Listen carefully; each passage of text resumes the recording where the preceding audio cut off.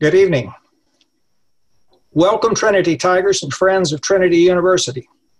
Welcome to the first virtual Food for Thought lecture series. The lecture series has been a tradition of Trinity University for more than 30 years. 10 lectures planned for this academic year are brought to you by the Trinity University Alumni Relations and Development Division as part of its ongoing lifelong learning initiatives as well as our talented and stellar Trinity faculty members. I'm Gary Ramey, a graduate of Trinity University from the class of 1970.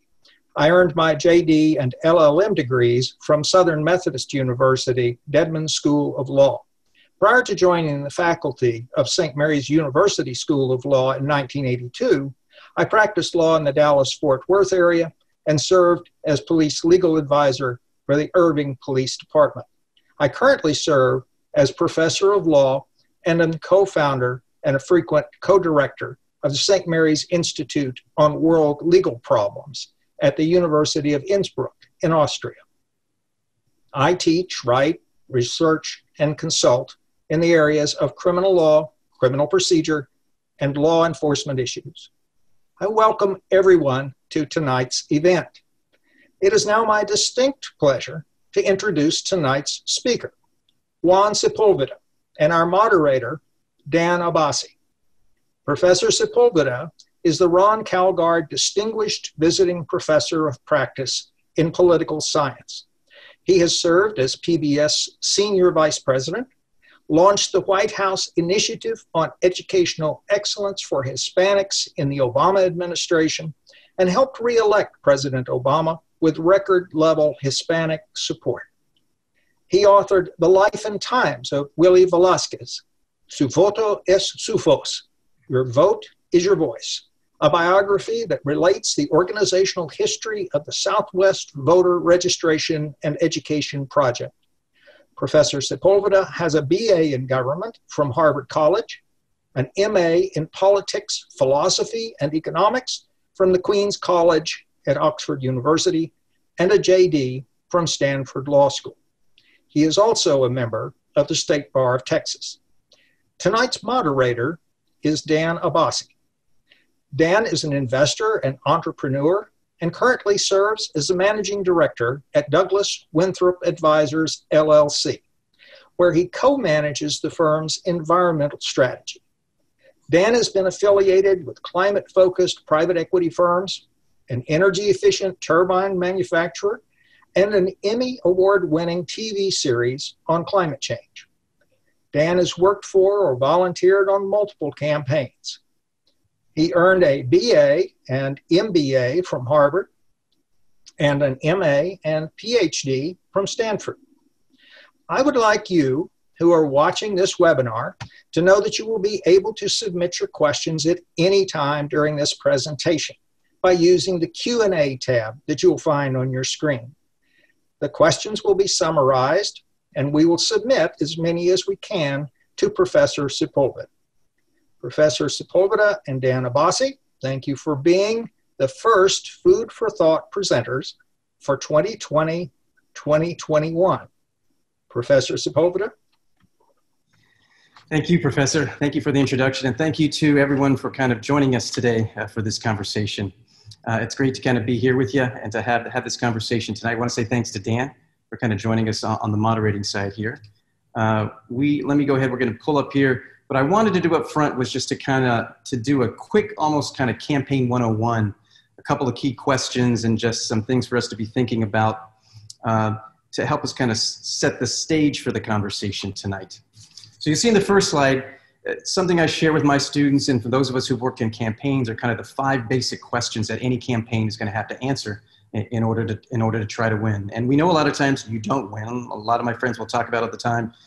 Being in a political campaign is like running a restaurant. Most of them fail, uh, so it's tough, right? And so, but but when we look at these five questions, I wanted you to think about them because as you're thinking about the rest of the election cycle, these are kind of the key questions that campaigns from the local to the presidential level are going to have to figure out and they're going to have to kind of answer. And so, who are our targets, right? When we think about 2016, President Donald Trump won by less than 80,000 votes across the three states of Michigan, Pennsylvania, and Wisconsin out of just a little bit less than 137 million votes that were cast. We're talking 0.06 of 1% that would have changed the outcome. That showed you how close things were. A little over 10,000 in Michigan, 47,000 in Pennsylvania, a little bit over 22,000 in Wisconsin. So when we think about who are our targets, this first question becomes really important for campaigns to figure out who is the what's the magic number they need to kind of get to victory.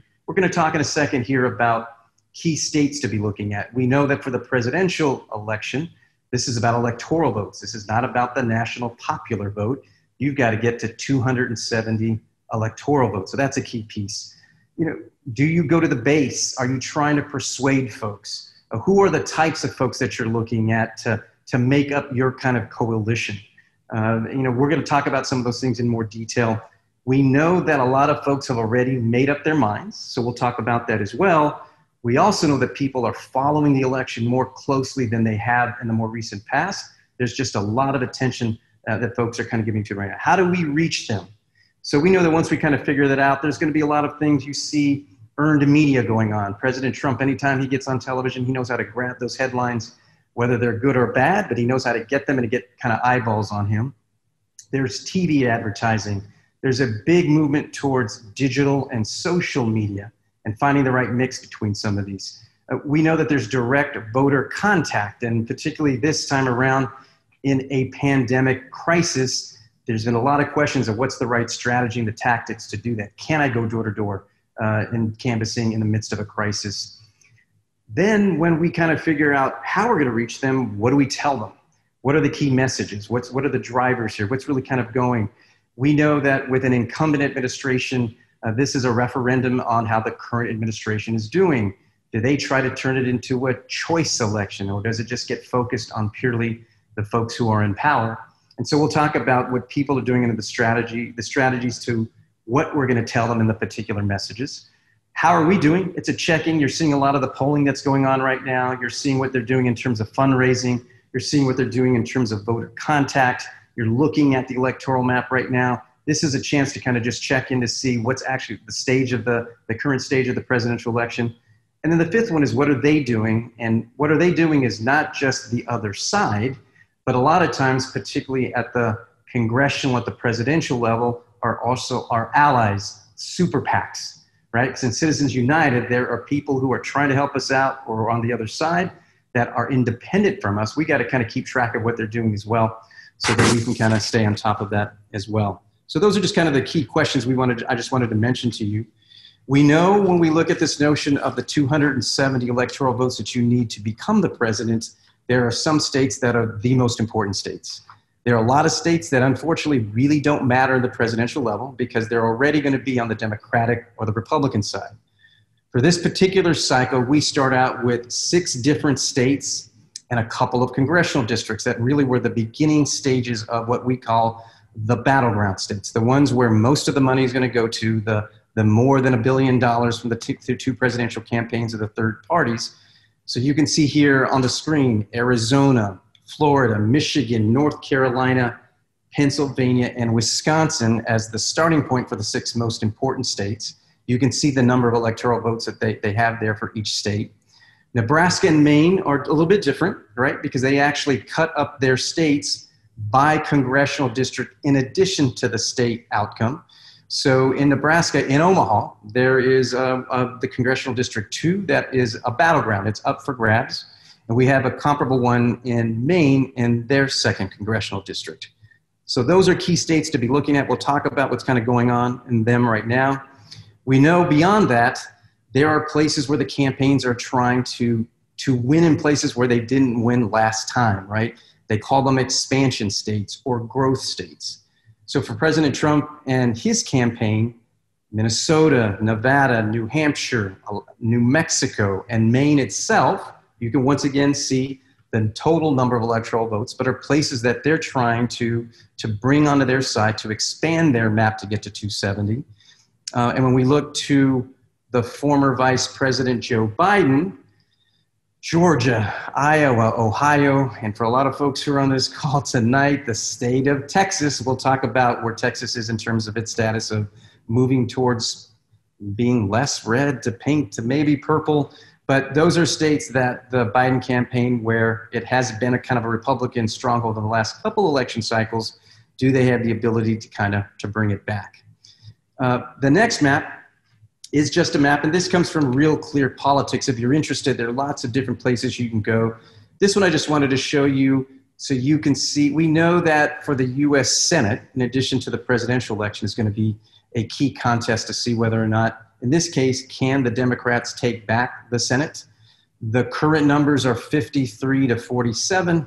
Uh, and so we know right now that the Democrats would need to win three seats and the White House in order to get to that magic 50 50. Then the vice president, in this case, Senator Harris, who would be the vice president elect, would be able to cast that tie vote to break the tie to, to the 51st. Uh, if we if the Democrats don't win, then if, if President Trump is reelected, you're going to need four. But we'll talk. I just wanted you to see the map. There's a dozen plus Senate races that are kind of up for grabs. We'll talk about some of those and see see what folks are kind of thinking about in terms of uh, what's happening with those Senate races. But we know that uh, as a starting point, for example, that in Alabama, Doug Jones, who is a Democrat who won that race in a very red state, is very likely to lose so the numbers are actually go to four and five. It'll, it'll, the Democrats, for all realistic pur- uh, purposes, they're going to need to pick up four seats and the White House in order to take back the Senate. Five if President Trump gets reelected. And the final slide I wanted to kind of show tonight, and here I think we're going to pull it up so that you can kind of. Uh, I wanted you all to be able to see something that you can kind of play with here. So I'm going to ask these folks to help. Yes, thank you very much, John. So you can see here, you can go online to the Cook Political Report there are three different companies that really kind of do a great job of putting out public information on their forecast, whether it's for the House, whether it's for the Senate, whether it's for the presidential level. The Cook Political Report is one of them. What I like about this, and this is why I wanted to show you all, this is what they're calling their 2020 demographic swingometer. So what they did was they took the results from 2016, and you can see on the side there are different demographic groups. It could be white non college graduates, white college graduates, the African American vote, the Hispanic vote, the Asian vote, and they've plugged in what the percentages were from the last election. The map that you see in front of you is updated to the 2020 voter profile, right? Because we know the demographics have changed a little bit. Over time, the American electorate has become a little bit less white and more folks of color in the percentage. So this kind of shows us on the map. You can go in there and play with the different percentages. What happens if the, if the vice president gets a higher percentage of this particular group? Or if Donald Trump does better with a particular group so that you can see and the map will change colors to show you Uh, who's going to be winning in the different states. But it's kind of a fun thing for you to play with, to test, test your own assumptions to kind of see what you think each campaign is going to need to be doing to kind of take those things on. But I just wanted to kind of point that out to you all kind of as a starting point as well wanted to keep this short up front because I know a lot of folks have a lot of questions. So that's just a real quick kind of jump into key questions to be thinking about, battleground states that are going to be really important, expansion and growth states on both sides of the aisle uh, with both campaigns. We'll talk about the different Senate races as well. Uh, and then I just wanted you guys to see this one so that you could play with it as well. And with that, I think Dan and I are going to kind of, we'd love to kind of get your questions and start the start to be able to respond to what you guys are thinking about. So let's see what you got, and I'll turn it over to Dan, and let's get going. Great. Uh, thank you, uh, Gary, for kicking us off, and thank you, Professor Sol- Sepulveda, for that stimulating uh, uh opening presentation. And uh, hello, uh, Trinity Tigers. I think most, not everybody, is a Trinity alum, but um, again, my name's Dan Abbasi. It's a it's a privilege to be with you to, to moderate the segment of, of tonight's Food for Thought session. Um, you know, I'll just say that I've known Professor Sepulveda for well over 30 years and have long uh, really admired his skills as a thinker and successful practitioner of the, of the fine arts of politics. Um, so I'm tempted, I have to say, to ask you all to do one of those Zoom sing-alongs and attempt a, a rousing rendition of your fight song, which I guess is called Go You Tigers. But I am going to restrain myself. Uh, I did not uh, alert the logistics team that I would uh, ask that, so I won't. Instead, I'll ask you all to submit questions uh, using the Q&A tab. And uh, I'm going to read those out. I might group some of them together depending on what comes in. Um, and we'll, we'll, sort of, uh, we'll sort of kick it off here. So uh, the first question is from David Wishaman, uh, who is uh, a graduate, political science graduate, 1980, and also Econ 81. Uh, his question is, what is the likelihood of uh, uh, TU alum Senator Cornyn being reelected? So I guess, uh, Juan, uh, Professor Sepulveda, you need to get into the prediction business here. So get out the ball. What's the likelihood? And, and, and thanks for that question. So at this point of the election cycle right now, it looks uh, very high. Someone's already answering for us, right? So it looks very high uh, that uh, Senator Cornyn is going to get reelected. Senator Cornyn is going to get reelected, one of our Trinity alums. I mentioned before that in case you're interested, so they're changing on a daily basis at this point. It starts to happen a lot when you see the changes. But in addition to the Cook political report, I would also recommend that you go check out Inside Elections. Nathan Gonzalez is the head of that group. Uh, and then Larry Sabato, who's a political science professor based out of the University of Virginia, has Sabato's Crystal Ball. Those three are the kind of the public forecasting groups that people really rely on and the media relies on and, and trust them because they do really good work. When you look at those three different folks, those three different outfits, they have the John Cornyn MJ Hegar race right now Two of them have it as being a likely Republican win. Uh, Inside Elections thinks it's a little bit closer, so they have it leaning towards Senator Cornyn. Um, so right now, I think it looks like Senator Cornyn is probably in a really good place. Uh, when we think about when I mentioned the different Senate races right now, there are probably 14 Senate races in the U.S. right now that are at some level kind of competitive.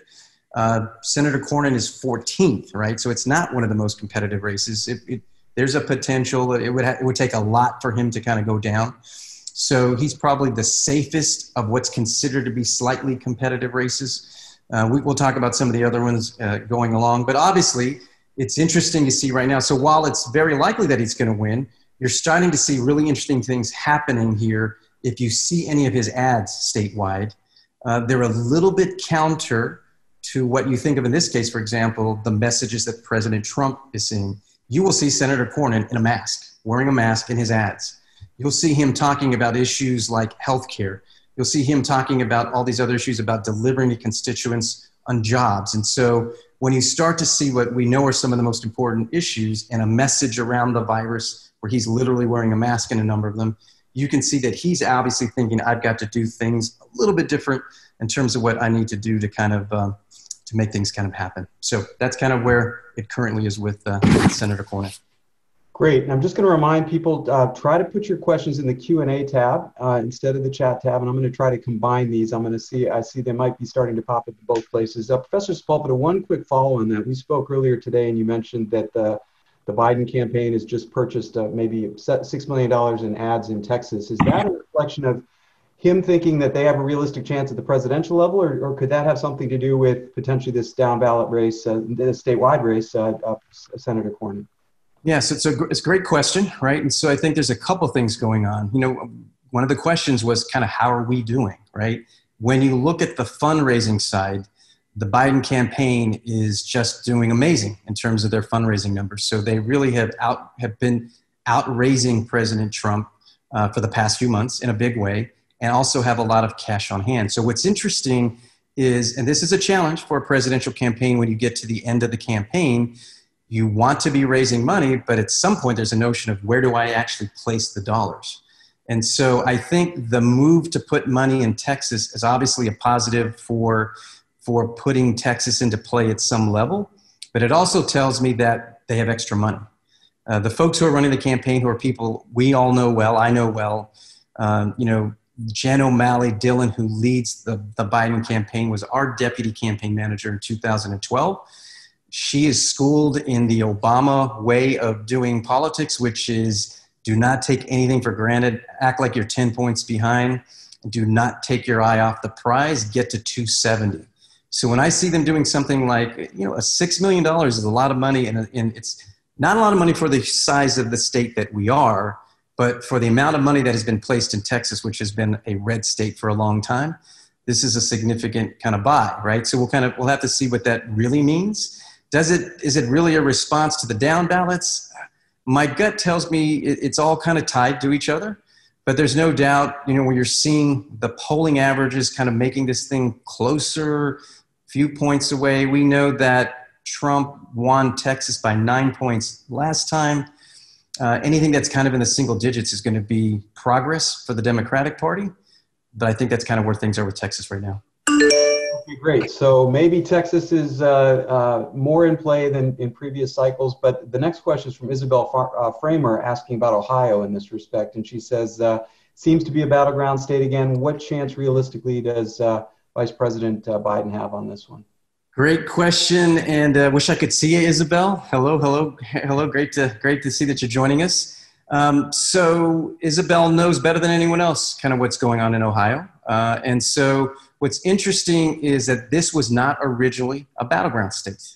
What's interesting is once again, as we get to less than 30 days left in the election, and the truth is the election's already going on. You know, we, let's be honest about that. As of last night before the debate, the numbers I saw, there were already almost five and a half million people who've cast their votes. So voting, the election's already started. Ohio is up for grabs. It's a real thing this time. No one thought it was going to be. You know, unfortunately, on the Democratic side, they thought it was going to be tough to recapture Ohio, but it looks like it is in play. You're seeing both sides uh, putting money uh, there that uh, that shows uh, even more than say what's happening here in Texas.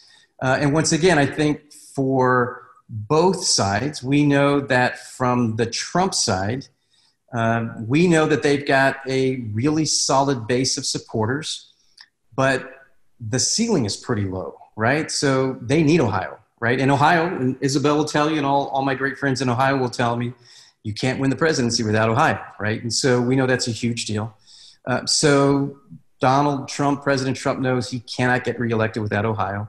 President Biden, former Vice President Biden, sees this as a way to add another path to getting to 270. And that's a positive thing as a campaign. You don't want to have a narrow path, a path, a single path. So this becomes a part of the notion of there are a number of ways for the Biden Harris ticket to get to 270. So I think there's a real chance that Ohio is in play in a way that we weren't expecting a month ago. Okay, great. Um, so, uh, how does the current, this is from John Lozano, great question here. How, how does the current electoral map um, at the moment compare to the comparable map at this stage in the prior presidential election? We all, all know that there was some kind of a surprise outcome there in light of what the polls look like. And so, what, what, uh, what inferences can you draw comparing the last cycle at this moment to the current cycle here, about 26 days out from election day? And of course, the election's already underway. People are voting today. That's the other thing. Yeah.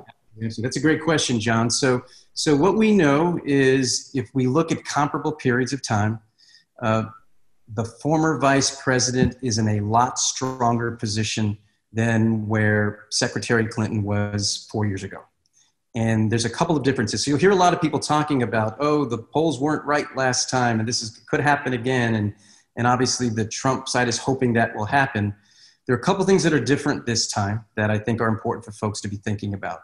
One is at this stage of the game, Secretary Clinton had sizable leads in the polling, particularly in the battleground states, but she wasn't at 50% in any one particular state. Uh, Joe Biden is. He's, he's hitting 50 or plus in almost all of the battleground states. That's what you need to win. There's also not a strong third party or fourth party candidate presence this time not a there are uh, there there is a libertarian candidate there's a green party candidate in not all of the states on the ballots in all the states but you don't see the kind of um, the early percentages of people leaning that way that would allow you to win with less than 50 kind of percent uh, and you're also seeing kind of a a, a larger uh, this is a more recent phenomenon after the first debate uh, after uh, we're starting to see what's going to have the impact of the president contracting the virus, but you're seeing a little bit of movement towards expanding also uh, the the actual numbers. So not a little bit different than last time, but those are a couple of pieces that that make it a little bit different. Now, once again, you know, the other thing I would say to keep in mind, I mentioned this quickly, you know, I'm a believer when I look at the data right now that this is it's always a mix of persuasion and the base folks who are already on board, and I, they're my base. I got to get them out versus how many people are still up for grabs, right? And so, but we know the numbers, the number of undecided voters is pretty small. Most people have made up their minds, right? So the question really now here is there are two things that are going on. When we see those numbers in the polling at this stage, the bottom line is from now to, to November 3rd, how do I actually get my base to show up, right? And we know in a pandemic, there's a lot of challenges to how you do that in a way that you stay healthy. There's a lot of changes in the rules and the games. Each, you know, the 50 states and DC all have different regulations on how they carry out their voting procedures. So we know it's a tricky thing, but that becomes a really important piece of the base side, right? People are, they've made their minds 90% plus. The estimates are anywhere from as low as 4% to maybe as high as 10, 11, or 12 who are undecided. But we know that the undecided portion is still critical because if the race is anywhere, if it tightens up and gets really close, those undecided voters could be a key. So the campaigns are also trying to figure out, you know, what do I do with the undecided voters? How do I kind of how do I get to them? That's a little bit beyond John's question, purely on the polling side, but it's something for us to be thinking about as well. That's kind of the the current state when we compare now to four years ago. Okay, great. So just answered Gary Greenblum's question, which is what percentage of voters remain undecided, and you said about four to twelve percent. I guess in the 2016 cycle, what what you said was Secretary Clinton was below 50 percent. So maybe that argued for more allocation of resource to going at those undecided voters. And now, would you say, would your inference be that this is really just about get out the vote? Uh, you kind of said there's still some persuasion going on, but if you were allocating right now, if you were running the full campaign, would you be doing more to get out the vote relative to 2016 at this stage? No, no, that's a great question. Th- thanks for the question, Gary. Good to see it. Well, can't see you, but I'll wave at you, Gary. Thanks for your question. Um, so I think there's a couple things. One is, you know, like I mentioned earlier, the Biden campaign is in a really strong place because of their fundraising. So they are able to do both. They don't have to choose, right? You can do both the work that you need to do to get your base out, uh, and then also to do the persuasion work. And so you know, as we start to think about what does that look like on the Biden side, right? You're, we know suburban voters, we know white female voters, white female voters in the suburbs. We know it could be the rural vote. We knew it could be the military and vets playing off of some of the comments that have been made by the. So we know that there are groups that within those that have undecided voters that the campaign are trying to figure out how best to get to them. And what's interesting and once again, you can go online. There's a swing voter project that uh, you can find online where that's literally what they're doing. So you can see some of the focus groups and what they're learning. One of the key things that they're learning is that for the small number of undecided voters, ads that are direct, any messages that are direct attacks on President Trump don't work. They're actually interested in going back to the old set of issues that are really important to families and to people, right? To, to jobs, to the economy, to healthcare, to education.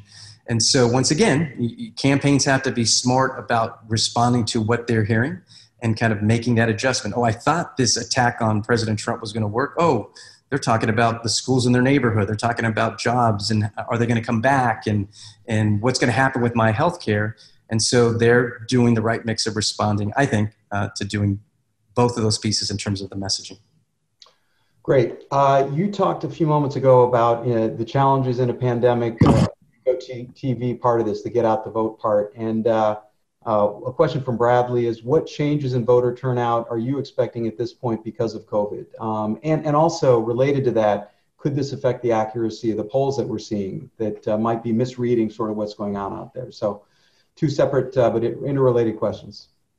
Yeah, so I think uh, it's a great question. So I think what's interesting is because of, like I mentioned up front, because of such a high interest in the campaign and people just feeling like this is just such an important uh, election cycle, uh, my gut tells me voter registration should have been going down because of the pandemic. And it did in certain places. But even here in Texas, we actually had decent numbers given that it was hard for people to do their usual uh, out in public, door to door kind of canvassing work.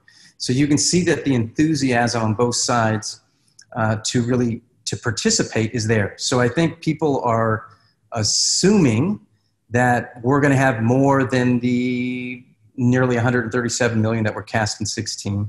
There's no doubt that it's going to be tricky to see with all the things that are going on to see whether or not um, people could get past the challenges to actually make that happen, right? And so you're hearing both of the campaigns uh, in different versions kind of telling their base and their supporters, you need to get out now and you need to get out early. Now, we know that the polling is telling us, I mentioned that as of last night, almost five and a half million people have already cast their votes. The information we know from that 5.4 million plus is that the Democrats, uh, because in certain states they we have partisan registration, we don't have that here in Texas, but in a number of the 31 states that are already kind of accepting and kind of getting mail-in ballots, it's like 54-25, an advantage for Biden over Trump, Democrats over Republicans. But we also know that Democrats, by large numbers, are telling pollsters, um, I'm going to vote absentee more than I am coming in person on election day. So the Trump campaign knows it's the opposite for them. Their supporters are looking to coming in person. So no doubt they're going to have a, a bigger surge of supporters on election day in comparison to the Biden campaign. So that's going to play itself out in terms of how we think about the actual numbers as well. Here in Texas, for example, I mean, we, you know, and folks who've been following it here, uh, the, the courts have kind of uh, allowed, uh, the governor has extended the early voting period. So in Texas, our election starts next Tuesday, the 13th, and, we have until the 30th on the early voting side. Um, we know that for the first time in this election cycle nationally, there are a number of groups who've come together to have a national early voting day uh, celebration and organizing. So on October the 24th, on a Saturday, all across the country, you're going to have bipartisan groups from across the country saying, let's all get out early. So there's going to be a lot of those kind of efforts that I think are going to help make sure things get out. But there's no doubt that it's going to be tough. And you're seeing the battle with, uh, with the rules in so many of the states that, but the campaign's job at this point is to, I remember we went through this as well and we were like, Am I crazy about this particular requirement? No. Is it the wrong thing? No. Do I think it's actually hurting and depressing the vote? Probably. But you know what? Those are the rules of the game. And that's what I have to then figure out. And so I know that that's what both campaigns are doing right now, figuring out what the specifics are that they're going to have to do uh, to make it happen in each one of their uh, each one of the, the, key states. Great. Now we have a lot of good questions coming in, uh, Professor Sepulveda. Let's try to pound through a bunch of these with about two minute answers these are great, robust answers. Um, uh, so next one is from Larry Moon. Given the extreme polarization of the country at the moment and the style of discussion we're seeing between the candidates, uh, particularly in that debate, uh, is there any hope for the country to get beyond this split? Um, and do you think uh, do you think we're as polarized as the media presents us to be? That's a great question. Uh, and so I think I actually don't think we are as polarized as the media is presenting it out to be. And there are a number of political scientists, particularly some of our colleagues who are out of Stanford University, who have actually done the research to show that the, the polarized uh, electorate that we see is partially being carried out through the media uh, that we're seeing, but it's also kind of in the interest of the elite politicians, the folks in DC, the presidential elections, the Senate races, the congressional races, that if you actually look at what voters believe around particular issues, what we should do around immigration, uh, what we should do around the death penalty, around different kinds of questions, there's actually a lot more agreement than disagreement. And so, whether it's here in San Antonio, uh, you think of other places about what it means to be the mayor of a city, for example. And once again, you know, for us in San Antonio, we've got another Trinity alum, uh, you know, Mayor Nirenberg, Ron Nirenberg, who's a Trinity Tiger. Um, you know, Mayor Nirenberg it's not about Republican or Democrat. It's a nonpartisan spot where he's got to figure out how to get it done for the city, right? So I think there's, I think of Eric Garcetti in Los Angeles.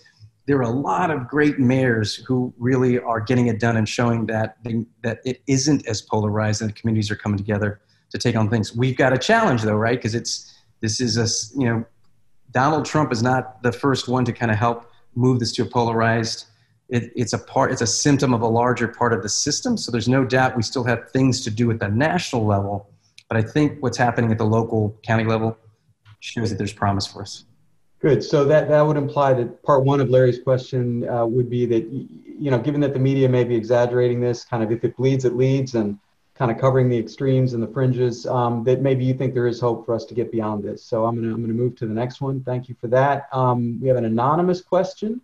Uh, why do you think President uh, Trump declined to attend a virtual debate? Is this a strategy, uh, or is this just uh, from the gut? So yeah, we're all guessing on this one, right? So you could you could imagine a number of kind of possibilities uh, as to that answer. Some people would say, I think for his side, they would say um, he's a great deal maker. This is the first throwing out of a possibility, and he's now negotiating in public to get a better deal, right? So that could be a possibility. Uh, there could be other folks who are saying this is a stance for him, right? To say, I'm not going to do anything virtual because that reminds people that we're in the pandemic, uh, that the virus is still going, and you can't even come into person. I'll show that if I'm in person, that that's I'm optimistic. That's who we are. That's how we're going to beat this thing. And so you can imagine it's also tied to the messages that they're hoping to kind of get across as well. So the real question is, you know, is it going to happen, right? And there's no doubt that this next debate was also supposed to be a town hall format, right? So the process is really important. Um, and if you're one of the candidates, it's a little bit trickier to go after voters asking you questions than you interrupting a moderator, for example, right? And so I'm sure even that notion of how the next one as being a town hall was probably something that they weren't as crazy about in terms of the process. So we'll have to kind of see, but that's my kind of first set of possibilities, right? Right great. The next one, I'm skipping around a little here. Uh, you're an aficionado of polls, uh, Professor Sepulveda, and there's a question here the mechanics of polls, which is how do you know Trump supporters respond to polls since most do not trust news? And this one is from Stephen Cox. That's a great question, right? So that's kind of the, there's a little bit of that, um, you know, they, in political science, we used to think of this both as kind of like the Tom Bradley effect you know, who was an African American running for mayor of Los Angeles, but there were a lot of voters who would end up not saying they were going to vote for him and not not being able to telling a pollster that somehow wasn't the right answer or something. So the question is, are there Trump silent voters? Right? Are there? Uh, and, and I think the data is showing us right now that that's probably less likely to be true. Right? There's no doubt that um, you know not all polls are the same. Right? And so, and I always tell people if you're probably the best place to go is to 538 because in addition to just kind of collecting the details of the polls they literally grade the polls right and give them a grade. So you want the you want to understand for people who know their stuff like nate silver and his team does to be able to say can we trust a poll? Is this a democratic poll? Is it a, is it a gop poll? Uh, is this some of the gold standard? And so, and the other thing we know, and I always tell people at this stage of the game, because we're going to get hit with so many polls, is you don't want to fall for the latest poll, right? That at this point, you want to be looking at the polling averages and then once again seeing which polls are the strongest ones. Sure, there's still a possibility uh, with that small percentage of, um, of the undecideds that they could be kind of coming back to the Trump side, and maybe that's not showing up in the polling. But the real question is is it going to be enough in this case uh, to close the gap? Great. Couple of questions I'm going to combine here. One is from the, the related. Darby Stacy is asking, given the, the increase in mail-in ballots, uh, how long do you anticipate it will be before we know the winner? Will it be on election night? Will it be some duration after that? And then related to that uh, is of the states to watch, which would be probably the swing states you talked about at the top of your talk, which are expected to not be officially decided on election day because of the number of mail-in ballots that won't be counted until election day. So when will we know and which states? Right. And So the, the great questions. And once again, it, that one was from, sorry, Teno uh, uh, Villarreal. Teno, all right. Great. Teno was a good friend as well, too. Thanks, Teno. Teno knows this stuff. So there's a couple things. One is there is all about the assumptions, right? If, if the polls are accurate today, then we'll know that night, right? Because the, the gap is large enough that uh, the votes that will come in after election day will not be as important. And then, but if it's close, then it can be. So what happens? So, so where are some states to look at? Dano, Dano knows this as well too. Florida is a key uh, marker. Florida is a key marker for a couple of reasons. President Trump cannot get to 270 without Florida. Former Vice President Biden can, but we also know that Florida is counting ballots as they're getting them. So we're going to know 80, 90% of the Florida vote that night. So, for example, if the former vice president is ahead in Florida that night, the election's done. right? Now, for some reason, uh, President Trump, who is that's a state where he is doing better in the battlegrounds, say he holds on in Florida, then we and we then we go to some of the Rust Belt states. We go to Michigan, Pennsylvania, Wisconsin. They're not that close right now, but if they tighten up, they'll tighten up. They'll, they'll always tighten up as we get closer to election day. But if for some reason they get really tight, then it gets trickier because of the large amount of mail-in ballots that are kind of coming into play. And you're going to see it now. The, the, you're seeing some of the challenges already. So the question is really going to be about what is a legal ballot, right? And so here, you know, what I've told some folks that I'm most worried about, I'm not, the president has obviously kind of made the case that he's worried about fraud. We all know that there is very small evidence of fraud that is taking place. Has it happened? Yes. Is it a huge problem? Absolutely not. But we know that what I'm more worried about are spoiled ballots. People who are doing this for the first time and don't know, they put their signature in the wrong place, they didn't get a witness in some states, uh, you guys have heard about the naked ballots, right? You have to have two envelopes in a particular state, and if it only shows up in one and it doesn't have the other one, it doesn't count, right? And some states will allow you to correct a mistake if it happens ahead of the election time, other states won't. So, once again, the campaigns are going to have to be really good about the specifics of what it means to kind of take care of this so that we don't have, in the primaries, for example, during the virus, we saw six to almost as high as 10% in some of the states who were pretty new to doing this because of the virus uh, in terms of the percentage of spoiled ballots. That's not a good thing, right? So that's probably what I'm worried about most. Okay, great. Um, let's see. The first, uh, we had the debate last night, vice presidential debate. I see the first question related to that, which is uh, sorry, I've got a long list here. Lost track. Oh, yeah.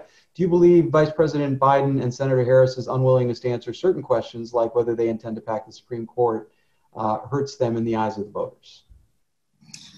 That's a good question, right? So I think so. You know, you could see from both sides. You could you saw it in the debate last night where they were. And I tell folks again, um, from the campaign perspective, it can drive you crazy as a voter to say, didn't they just ask them a question and they actually didn't answer it?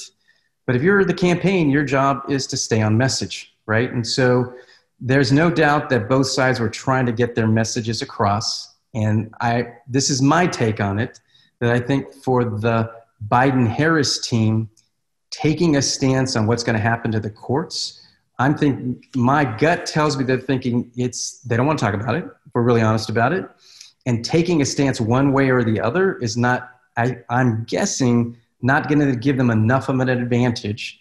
Uh, so for the best thing for them to do is to is to not really answer the question. Now, once again, that's don't don't be surprised. This is not like just one side. The others, both sides do this. There are things you want to talk about, things you don't want to talk about.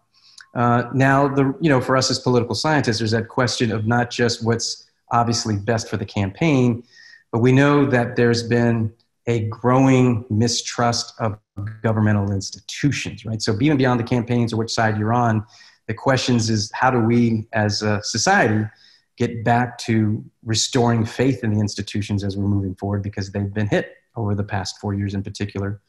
Um, so I think that's a, a bigger question for us to be thinking about as well. Great. Any data, uh, Professor, to, to present on kind of young voters under 30 years old? Uh, that one is, uh, sorry, that one is from, uh, from Debbie. And then related to that, um, do you think polls currently reflect young voters such as Gen Z and millennials? Uh, this is from Giovanni Escobedo. Uh, and Giovanni's asking, or, or do you think their participation may surprise us? Presumably, will we see higher turnout among young voters than we've seen in the past. So a couple quick comments on young voters. Keep it relatively brief because I want to try to get through a bunch of these other ones. Sure, sure. Th- and thanks, thanks, Gio.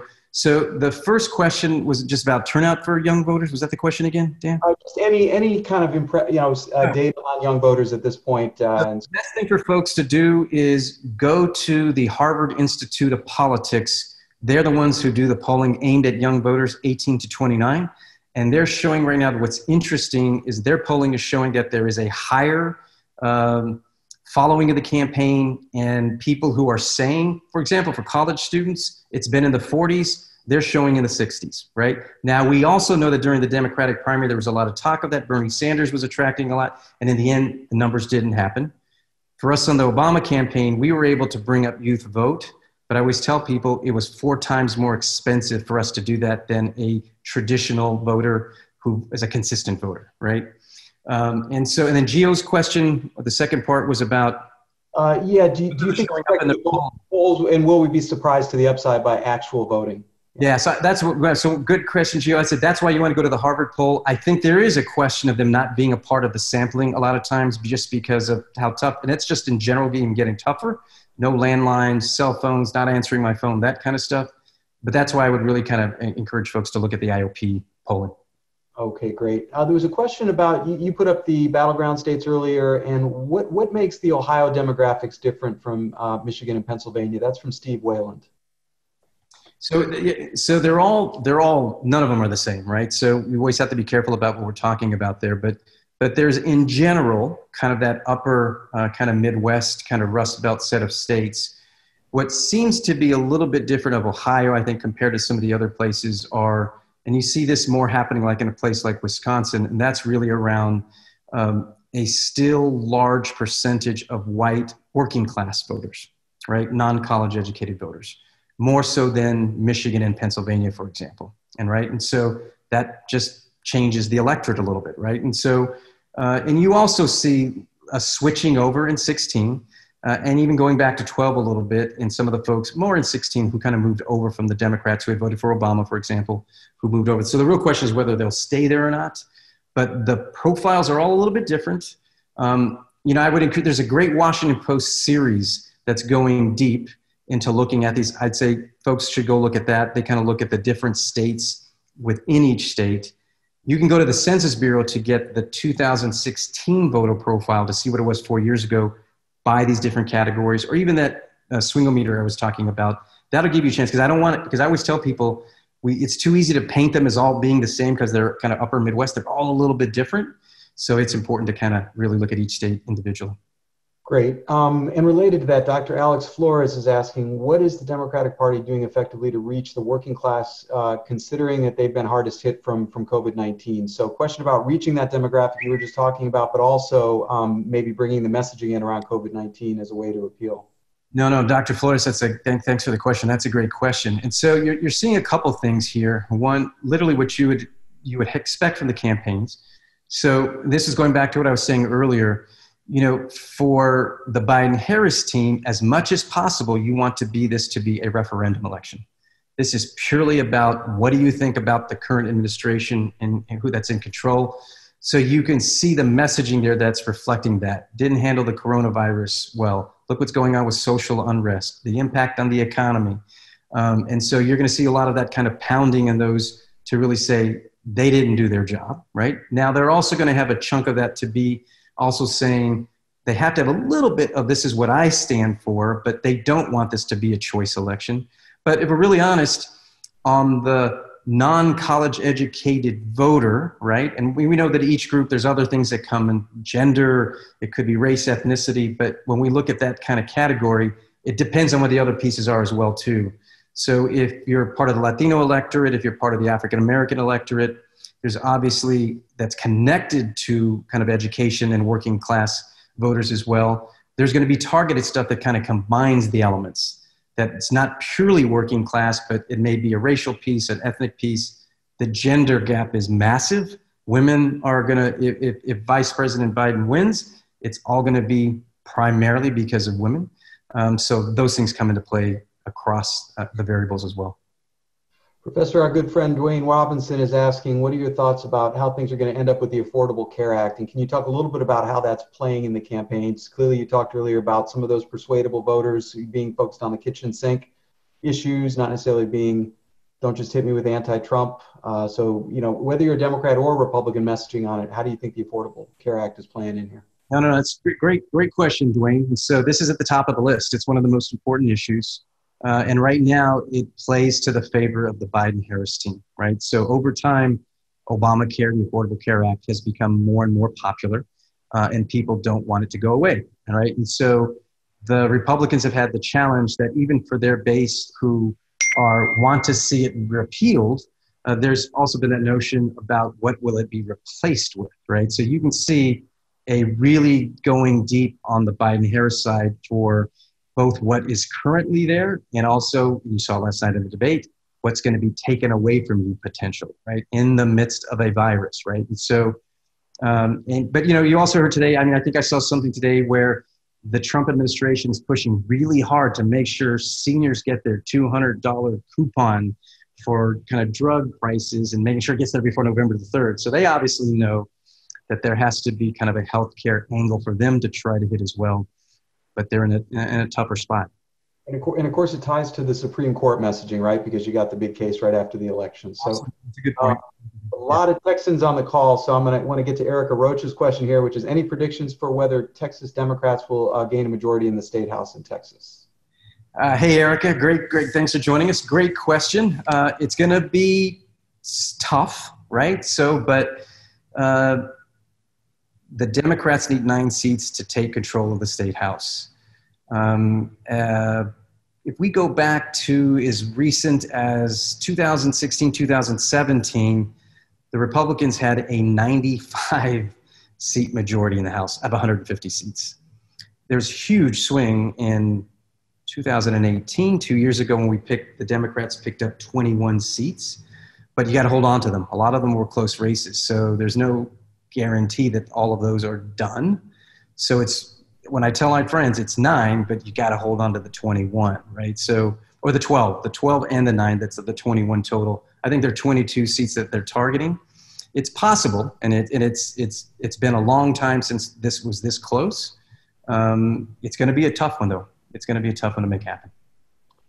Great. Um, here's a, a, kind of different one. Looking beyond the election, how do we think about the potential for another situation where the electoral vote is different from the popular vote? Um, how, do you this? Uh, how, how, do you think about addressing the electoral college challenges after the election? And uh, what kind of issues might we watch for in the use of loopholes in the electoral college policies in this election? Great question. Uh, the possibilities really depend on the closeness of the race. If the race ends up being close again, there is a scenario that uh, the president gets reelected, and the most likely scenario is that an electoral vote, I get past 270, but I lose the national popular vote, right? California, New York, big millions of kind of wasted votes in a sense because you you know where that state's already those states are going to go on the Democratic side, for example. Um, so that's probably the most likely scenario where that would happen. If the race is anywhere near what the polling is showing now, or even if it closes a little bit, uh, it won't matter because it'll be a smaller victory in a way, but you'll have probably both pieces for the Biden Harris team in terms of getting past 270 and winning the national popular vote as well. In terms of the, the future, you know, this is a tough one, right? Because the process of what it would take to change it is difficult. So it's not going to be an easy thing. Um, and, you know, so I think uh, even though people are frustrated and would like to see, there's so many elements of both how people are saying what could be different about do Democrats, Republicans are worried about Democrats taking control and turning DC and Puerto Rico into states to add to the electoral vote, to continue to play that game, but to change the numbers. Uh, while other people are saying, you know, going to the national popular piece at place, it obviously could be something that would kind of favor Democrats because of places like California and New York. But I think either, I think it's going to be a while before the system changes just because of how difficult the process is to make that happen. Great. Gary uh, Greenbloom is asking there have been some concerted efforts to reach uh, previously unregistered voters. Any thoughts on how successful this has been in terms of getting more Lat- Latin, uh, Latino voters uh, registered? So, uh, thanks, Gary. Great question. Um, we mentioned this a little bit earlier. It's been trickier this time because of the virus, right? So, people haven't been able to do uh, a lot of the traditional things that they've wanted to do around registration. Here's an interesting thing, though, and once again, this will be the first cycle that Latinos nationally, now the key word is eligible, right? It's not in terms of turnout yet, but there actually will be more Latino eligible voters than there are African American voters for the first time, right? Now, because the turnout is different, that doesn't mean the turnout's going to be the same. So you're, you're seeing groups like Jolt, and there's a lot of other groups here in Texas and across the country who are doing really interesting kinds of things so there's some great experiments going on. What I get a little worried about was a lot of them were put on hold a bit in a way uh, because of the virtual nature of how people had to shift their tactics. So that makes me a little nervous about whether they're actually going to be able to hit some of the goals they were hoping for. Great. We're at our last question, and I think it's only appropriate that uh, your son Michael gets to ask that last question. So I'm going to send this one over. Uh, sim- uh, similar to Ohio, do you think South Carolina is back in play uh, due to Jamie Harrison's fundraising strengths? And related to that, um, in light of news cycles being dominated by national news and so forth, do, you, do Senate level debates carry the same weight in their races as compared to previous elections, given the again the national the intensity of the national fight? Uh, that's a great, great question, Michael. Um, so there's a couple things that I think we're seeing in South Carolina. You know, we didn't get a chance to go through all of the Senate races. So I would encourage you to go look at some of those real clear politics maps to see the 14 races that are out there. What's shocking to me is that South Carolina even has the potential to be a competitive race, and it looks like it is. So there's both the fundraising piece, but this is also another reminder to us that the suburbs are different now, right? And so people, you've got that going on in South Carolina and not just in Charleston. Uh, you've got Columbia, you've got some other places. And we have this notion of what the suburbs, what we thought they were. But there's so many. David Wasserman is great about this, where he says, you know, there are some suburbs that you go to and it's Whole Foods and Lululemon, and there's some other ones and it's Dollar General and Hobby Lobby, right? So they're very distinct. And so they're not all the same. But South Carolina is one of those places Texas, we've got that around Plano and Allen, Texas, two of the wealthiest communities in Texas in the country, where there potentially could be turning blue.